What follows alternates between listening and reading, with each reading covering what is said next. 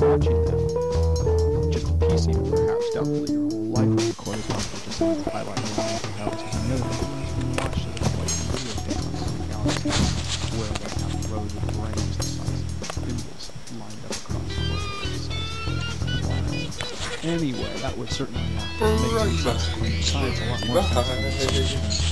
Right.